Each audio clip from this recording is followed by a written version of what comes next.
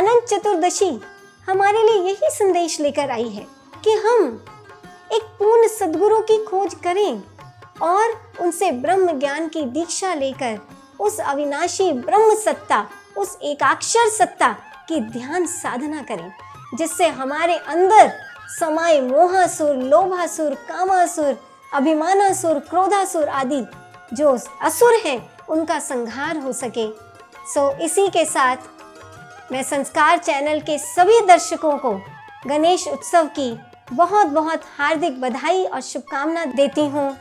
ओम गण गणपते नमः।